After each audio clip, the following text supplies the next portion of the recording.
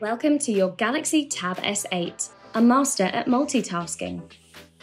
Multi window lets you run three apps at the same time, join a video call, take notes, and draft emails simultaneously, or stream content and stay up to date on socials whilst on a Google Duo catch up with your mates.